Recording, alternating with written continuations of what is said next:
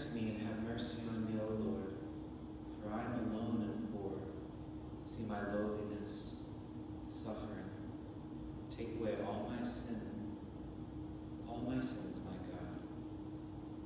In the name of the Father, and the Son, and the Holy Spirit, amen. The Lord be with you. Brethren, let us acknowledge our sins and so prepare ourselves to celebrate the sacred mysteries. We're sent to heal the contrite of heart. Lord, have mercy. You came to call sinners. Christ, have mercy. You are seated at the right hand of the Father to intercede for us. Lord, have mercy. May Almighty God have mercy on us, forgive us our sins, and bring us to everlasting life. Amen. Let us pray. O God, whose providence never fails in its design, keep from us, we humbly beseech you, all that might harm us, all that works for our good. Through our Lord Jesus Christ, your Son, who lives and reigns with you in the unity of the Holy Spirit, one God, forever and ever. Amen.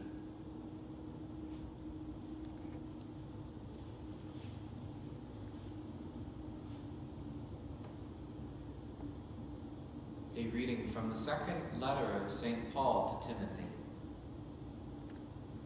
Beloved, remember Jesus Christ, raised from the dead, a descendant of David.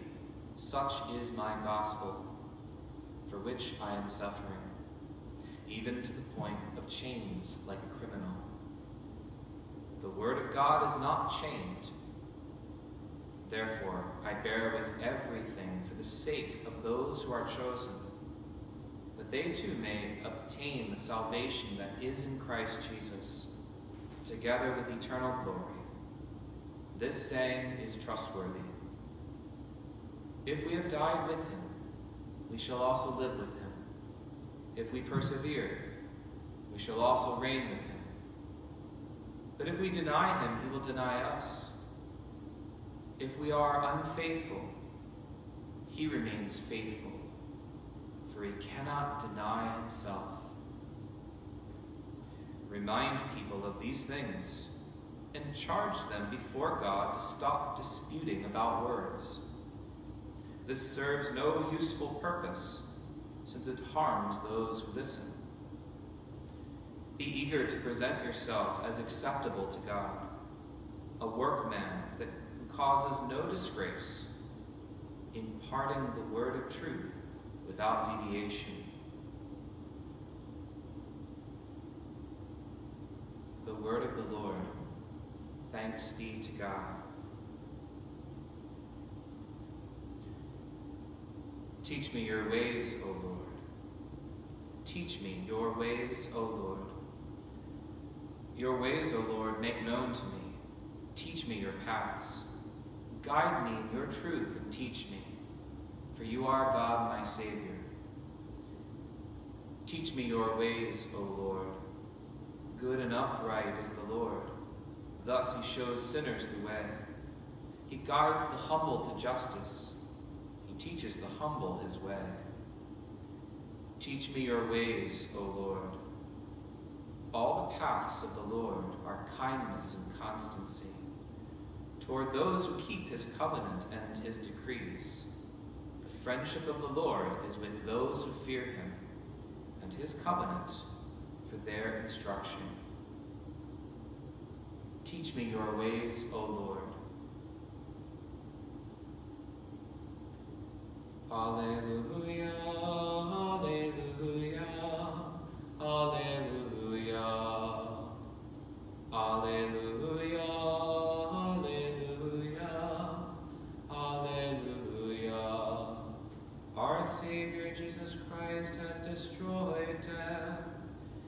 brought life to light through the gospel. Alleluia, Alleluia, Alleluia. The Lord be with you. A reading from the Holy Gospel according to Mark. Glory to you, O Lord.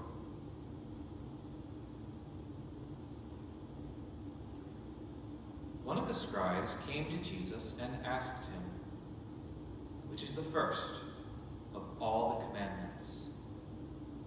Jesus replied, The first is this Hear, O Israel, the Lord our God is Lord alone. You shall love the Lord your God with all your heart, with all your soul, with all your mind, and with all your strength. Second is this You shall love your neighbor as yourself. There is no other commandment greater than these. The scribe said to him, Well said, teacher. You are right in saying, He is one, and there is no other than He. And to love Him with all your heart, with all your understanding, with all your strength, and to love your neighbor as yourself is worth more than all burnt offerings and sacrifices. When Jesus saw that he answered with understanding, he said to them, You are not far from the kingdom of God. And no one dared to ask him any more questions. The Gospel of the Lord. Praise to you, Lord Jesus Christ.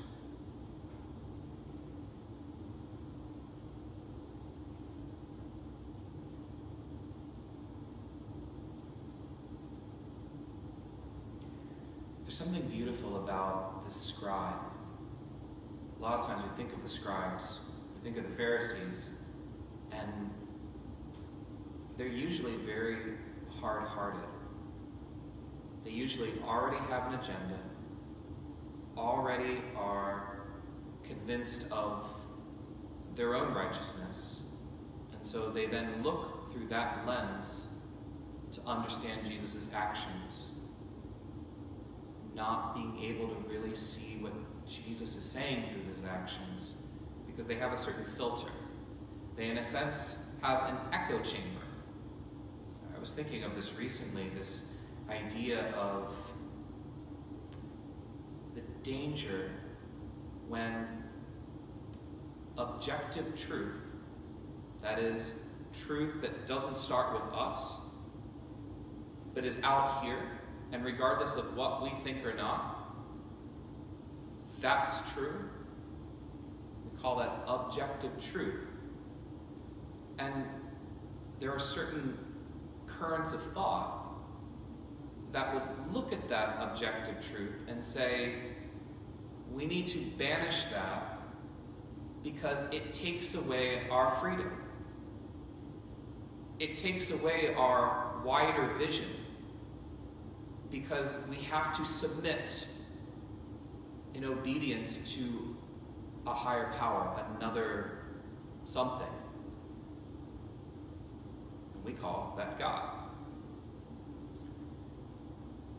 But when that objective truth is called into question or just kind of pushed away, then what do we have left? We have something very personal, something that dwells here, and we call that experience. Experience is a very good thing. It's needed. If we also believe that there's objective truth. But the moment that that truth is sort of denied, all we have to fall back on is our own experience. And unfortunately, what happens when we combine truth starting here and experience already starts here.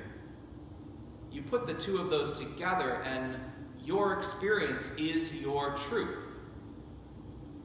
And unfortunately, what happens in that kind of situation is you don't have a wider vision of reality, but you become an echo chamber.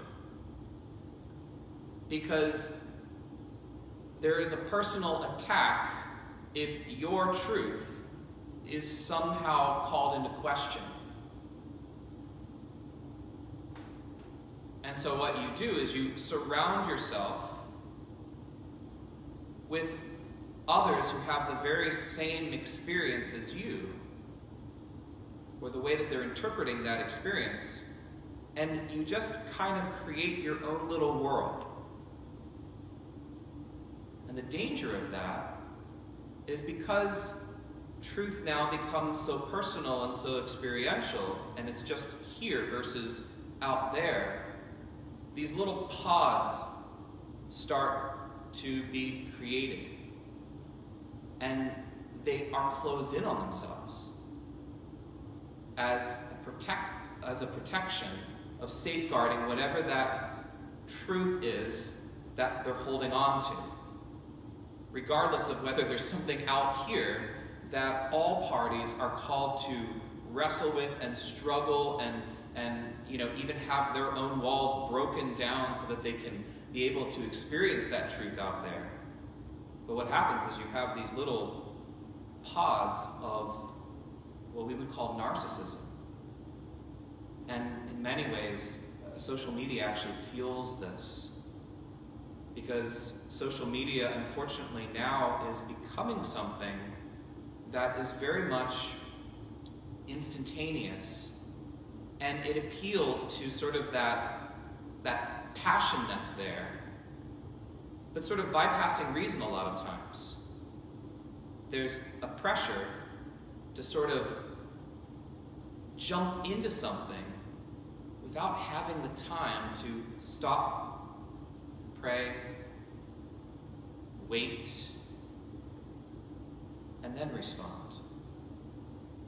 You've noticed, especially in these times right now, there's just this, um, it's very tiring in many ways, just this kind of um, jumping here, jumping here, jumping here. And we see this in the situation of the unrest that's with us socially. We see this in the debates within the church. We see these all these different things, and it's sort of like you don't have the time to stop and think because you just sort of and unfortunately because you don't have time to stop and think you in a sense are continually just validating yourself with whatever experiences that you've had you just surround yourself with that kind of social media footage those kind of things and you just kind of create your own little echo chamber But in doing that, we just become totally different worlds. And we lose the ability of seeking truth together. And that comes through dialogue, that comes through learning how to be humble, how to listen to the other, how to be able to sort of have a healthy self doubt in a way of saying, How am I part of the problem? Can I step back and sort of look and see, I'm fallen, I'm a sinner. So, where am I needing to grow? Where am I needing to recognize maybe an area in which I'm just sort of cycling around my own echo chamber? And it's very comfortable there. But how do I actually, in search of the truth,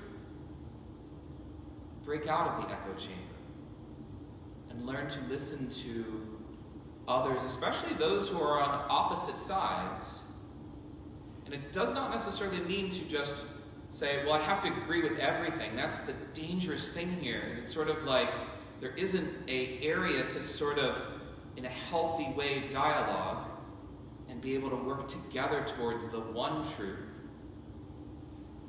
But because of these kind of camps are forming and they're getting stronger and more isolated, there's this way in which it's sort of like it's all or nothing. And you don't have time again to sort of think and say, well, I do agree with this, but I think this falls short here. Because on both sides, there's this idea of if you have any criticism of anything that's within my echo chamber, then you are the enemy. You are anathema. And I will not listen. And when that happens, you don't have the ability to really listen to one another. And the only way, when truth is this subjective echo chamber here, the only way to, in a sense, continue to validate your truth is to pretend that the other one doesn't exist or to vilify and say that there is no redeeming value whatsoever in anything that they say. And then the cycle just continues. And ultimately, it starts bubbling over until you can't stand that other side in such a way that you say, well, I have to just destroy that side in one way or another.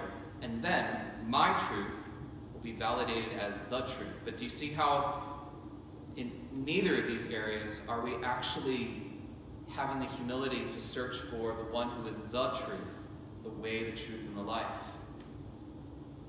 So, looking at the gospel today, we have the first commandment Hear, O Israel, the Lord our God, the Lord is one. This vertical commandment of loving God with. There is the horizontal commandment of loving your neighbor as yourself. You can't you can't love your neighbor unless you really, really get to know them as you know yourself. To have that, that empathy, to enter into their shoes, to be able to, the best of your experience, to be able to be able to say, I don't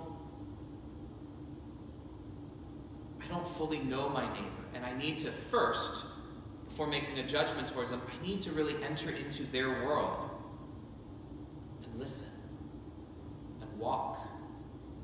This is this whole image of Pope Francis with this accompaniment. It, really deals with this aspect of how do we love our neighbor as ourselves if we don't really know them on that deeper level as ourselves.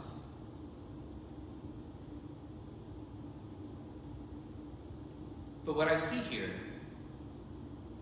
is the scribe here is someone who had courage to approach Jesus, not in an echo chamber to defeat Jesus, but to say, I want to understand. Notice how the Lord says, Jesus saw that he answered with understanding. Because the scribe doesn't do what all the other scribes do, is to become hardened, even in the midst of miracles, even in the midst of teaching, they get hardened saying that they just want to destroy Jesus more and more because he's threatening their truth that they're holding on to. But this scribe actually has the courage to say, Well said, teacher. I hadn't thought of it this way before, but I see that in order to love God, I have to be willing to love my neighbor as myself. And in order to really love my neighbor as myself, I have to be able to be focused on God. Because this is where the two aspects of our Christian faith are. We can't live out social justice without focusing on the Lord or else it becomes something that spirals into another form of narcissism. But we also can't love God without being passionate about the issues of social justice in our time. We can't say, I love you, God, and then turn our back on our neighbor. So we need to, each one of us, just examine our heart and see where is the echo chamber. And maybe what I would encourage you to do is even look at your social media. and see what are the sites that you're surrounding yourself with? And are there any that also show the other side the way that they see that other side? Because then that helps to be able to recognize are there valid points? And where can we work together to seek He who is the way, the truth, and the life? So, where is your heart an echo chamber? I'm looking at this in my own life as well. And one of the beautiful things about our faith is that the social teaching of our church is so wide and vast. And like I said before, it doesn't fall into a political party, it doesn't fall into sort of a human way of thinking. It looks at everything and says, how do we love in all of these circumstances? And how do we find mercy and justice being blended together as the same word? Because Jesus Christ is both mercy itself and justice, faithfulness together in his love for you.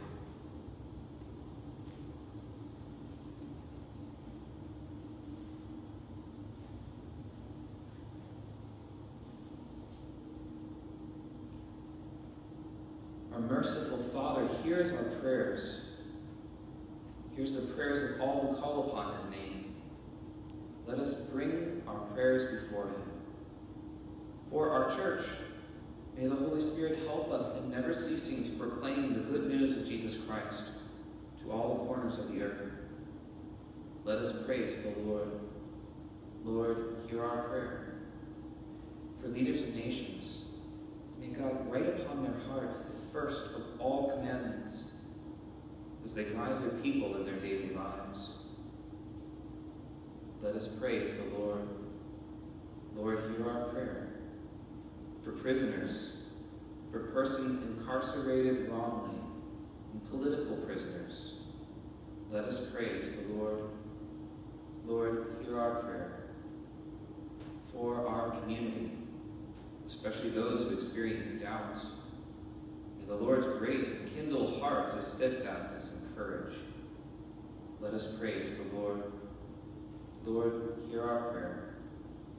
For our beloved dead, may they soon meet God face to face and live in his kingdom forever. Let us pray to the Lord. Lord, hear our prayer. We pray in a special way for all those who are affected by COVID 19. For these are the ones that I've been asked to offer this Mass for. For protection and strength for each one of them. Let us pray to the Lord. Lord, hear our prayer. We continue to pray for wisdom, peace, reconciliation, spirit of unity in the midst of our country right now, might have the ability to reach out, to listen, to walk towards Jesus Christ, who is the truth, that he might lead us to a true reform, a true dealing with areas of injustice and racial discrimination in a way that builds everyone up and makes one another neighbor to each other. Let us pray to the Lord. Lord, hear our prayer. We pray for all those intentions within Our Lady's intercessory box, for all the prayers within your heart. We pray, Hail Mary, full of grace, the Lord is with thee. Blessed art thou among women. Blessed is the fruit of thy womb, Jesus. Holy Mary, Mother of God, pray for us sinners, now and at the hour of our death. Amen. God of mercy and justice, you have shown us that you will honor all covenants and keep all promises. Hear the prayers we lift to you today. Through Christ our Lord.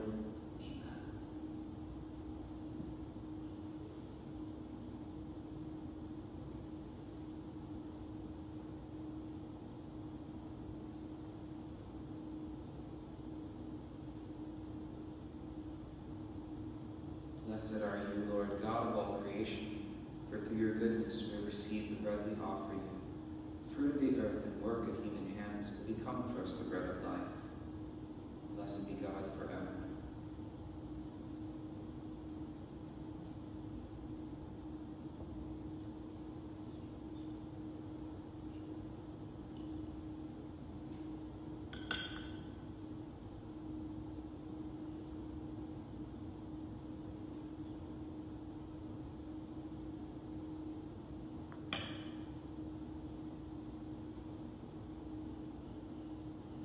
Blessed are you, Lord God of all creation, for through your goodness we receive the wine we offer you. Fruit of the vine and work of human hands will become our spiritual drink. Blessed be God forever.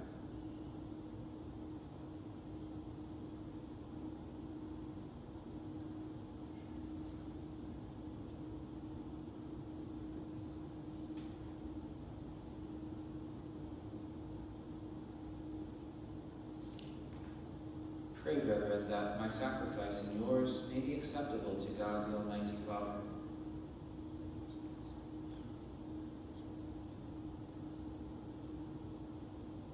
Trusting in your compassion, O Lord, we come eagerly with our offerings to your sacred altar, that through the purifying action of your grace, we may be cleansed by the very mysteries we serve. Through Christ our Lord. Amen. The Lord be with you. Lift up your hearts. We lift them up to the Lord. Let us give thanks to the Lord our God. It is right and just. It is truly right and just. It is truly right and just, our duty and our salvation, always and everywhere, to give you thanks, Father most holy, through your beloved Son, Jesus Christ, your word, for whom you made all things, whom you sent as our Savior and Redeemer, incarnate by the Holy Spirit born of the Virgin. Fulfilling your will and gaining for you a holy people, he stretched out his hands as he endured his passion, so as to break the bonds of death and manifest the resurrection. And so the angels and all the saints we declare your glory, as with one voice we acclaim. Sanctus, Sanctus, Sanctus Dominus Deus Sabaoth, Pleni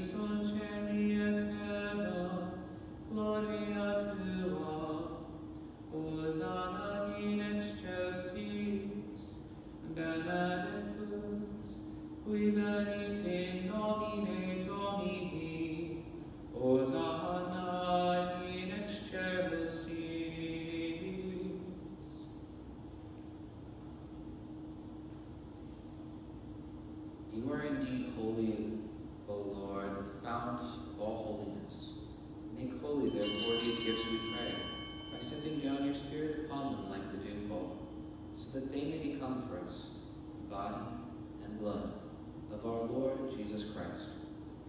At the time he was betrayed and entered willingly into his passion, he took bread, and giving thanks, broke it, and gave it to his disciples, saying, Take this, all of you, and eat of it. For this is my body, which will be given up for you.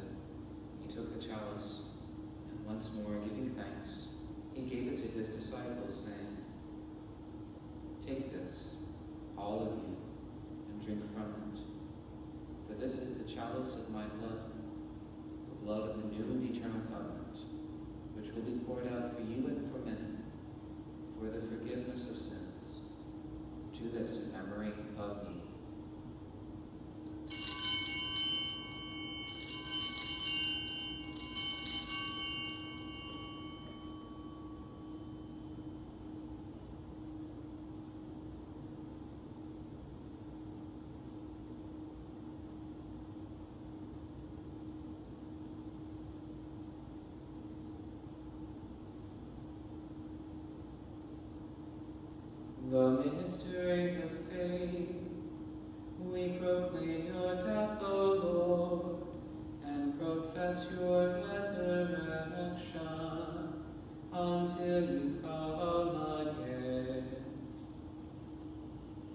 Therefore, as we celebrate the memorial of his death and resurrection, we offer you, Lord, the bread of life and the chalice of salvation, giving thanks that you have called us worthy to be in your presence and minister to you. Humbly we pray that partaking of the body and blood of Christ, we may be gathered into one by the Holy Spirit. Remember, Lord, your church spread throughout the world, and bring her to the fullness of charity. Together with Francis our Pope and Richard our administrator, and all the clergy. Remember also our brothers and sisters who have fallen asleep in the hope of the resurrection, and all who have died in your mercy. Welcome them into the light of your face. Have mercy on us all, we pray, that with the Blessed Virgin Mary, Mother of God, with Blessed Joseph, her spouse, with the blessed apostles, and all the saints who have pleased you throughout the ages, we may merit to be co-heirs to eternal life, and may praise and glorify you through your Son, Jesus Christ. Through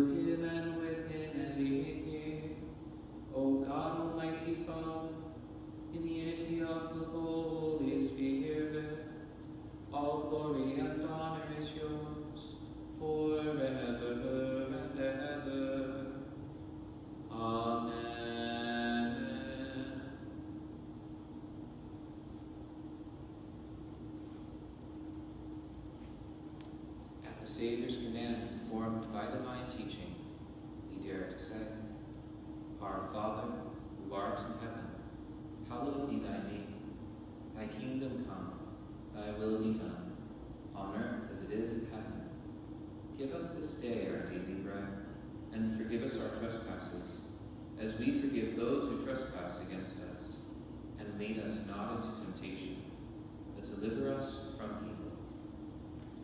Deliver us, Lord, we pray, from every evil. Graciously grant peace in our days, that by the help of your mercy we may be always free from sin and safe from all distress, as we await the blessed hope and the coming of our Savior, Jesus Christ. For the kingdom, the power, and the glory are yours, now and forever. Lord Jesus Christ, who said to your apostles, Peace I leave you, my peace I give you. Look not on our sins, but on the faith of your church and graciously grant her peace and unity in accordance with your will, who live and reign forever and ever. Amen. The peace of the Lord be with you always.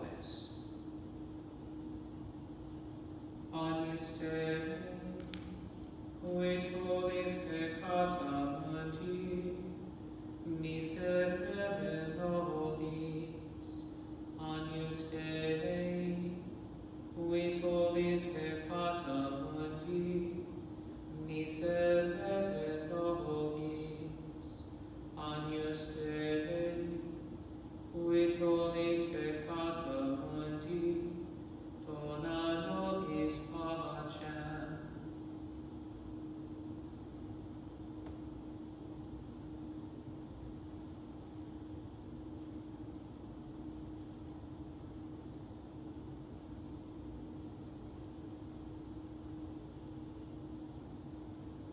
Behold the Lamb of God.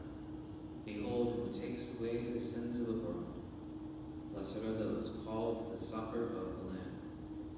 Lord, I am not worthy that you should enter under my roof, but only say the word, and my soul shall be healed.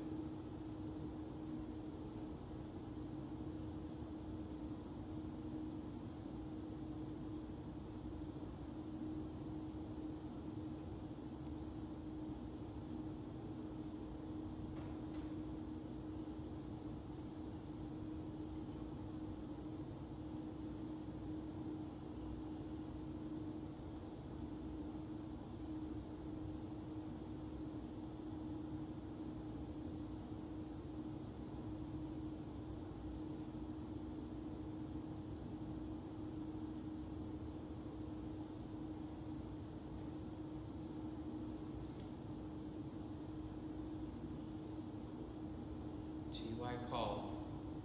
To you I call, for you will surely heed me, O God. Turn your ear to me. Hear my words.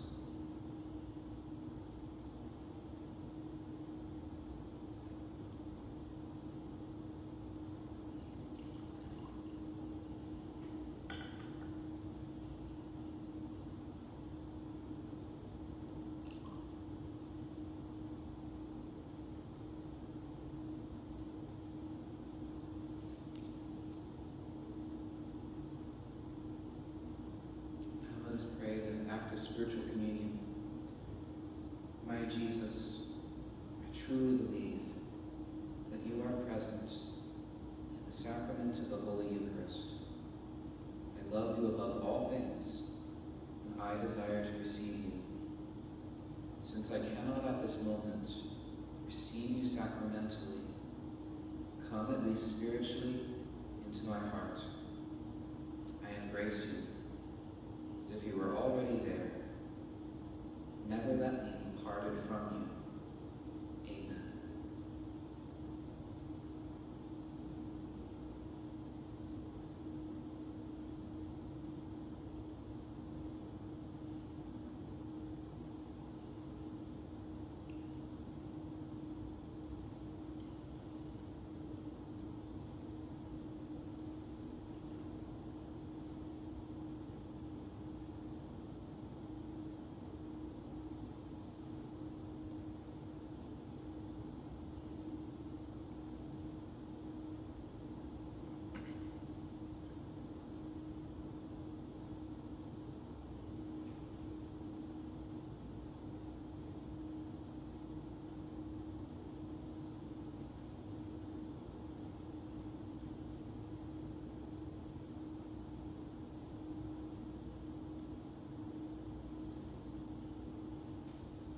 Let us pray.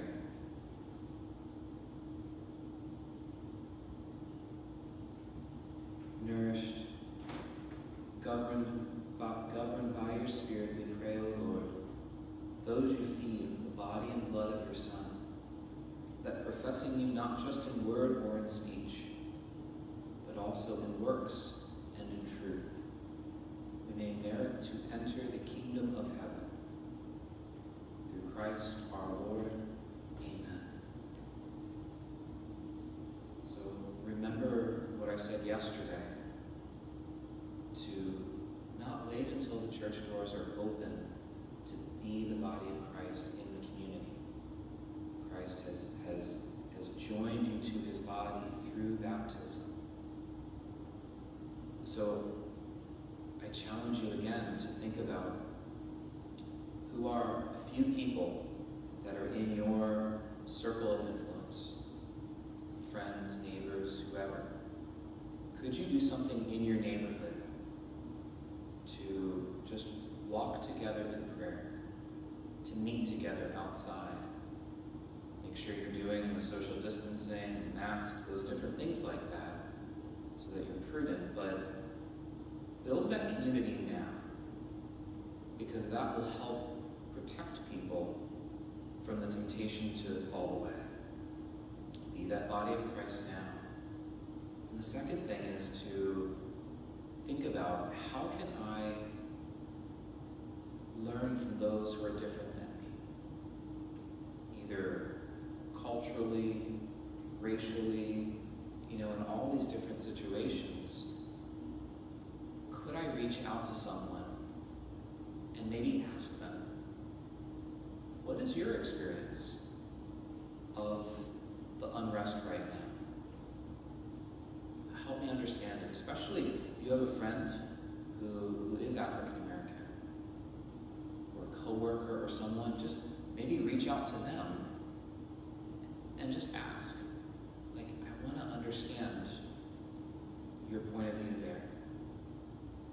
And to ask the Holy Spirit to guide you in that conversation so that you can really see where, what is the Holy Spirit saying about maybe an area in my own heart that maybe I'm blind to, that maybe needs to be opened up. So ask the Holy Spirit first, is there someone on your heart? Maybe just reach out, send a, send a message to them or so, and just say, hey, uh, could I talk sometime? I just want to understand this difficult situation from another point of view so that I can grow as well in humility, in charity, and mercy. So think about those two things. The Lord be with you. And may Almighty God bless you, the Father, and the Son, and the Holy Spirit. Go and announce the gospel of the Lord. Thanks be to God. Saint Michael the Archangel, defend us in battle. be our protection against the wickedness and snares of the devil. May God rebuke him, we humbly pray. And do thou, Prince of the heavenly host, by the divine power of God, cast into hell Satan and all the evil spirits who prowl about the world seeking the ruin of souls. Immaculate Mary,